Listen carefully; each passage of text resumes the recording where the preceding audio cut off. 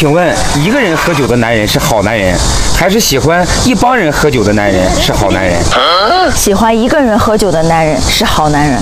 一个人喝酒，喝的是回忆，喝的是无奈，喝的是伤感。一个人喝酒，喝的是责任，喝的是压力，喝的是希望。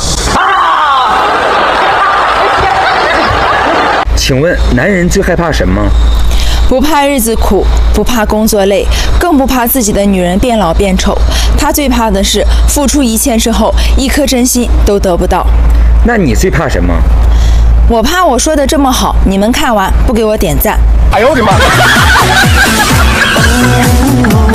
请问你觉得人到中年像什么？我觉得人到中年像《西游记》。为什么？悟空的压力，八戒的身材，沙僧的发型，唐僧的絮叨，最重要的是距离西天越来越近。哎呦我的妈！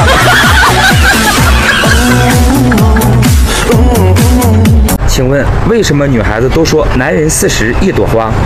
四十岁的男人，一般女人你追不动，因为他们有自己的成熟思想能力。男人二十岁懵懵懂懂，冲动不计后果；三十岁有了自己的看法；四十岁什么都经历过了。动嘴他已经过了耳听爱情的年龄，动情他有，动情他已经不再相信永恒的真情。所以四十岁的男人，你可望而不可及。哎呦我的妈！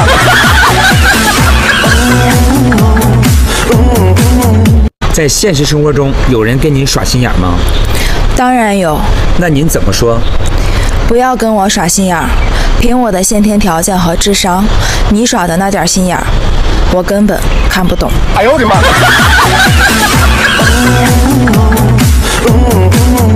请问您什么学历？博士。有男朋友吗？大师说二十二岁会有，但今年二十六了。为什么？知识改变命运。哎呦我的妈！请问为什么女人分手后要发朋友圈？因为她想公开招标。哎呦我的妈！请问你可以形容一下当下各个行业的语言技巧吗？美容院的人会说你皮肤缺水，理发店的人会说你头发干燥，按摩师会说你体内湿气重，不爱你的人会说你脾气差，只有服装店的老板才会一个劲儿的夸你身材好。哎呦我的妈！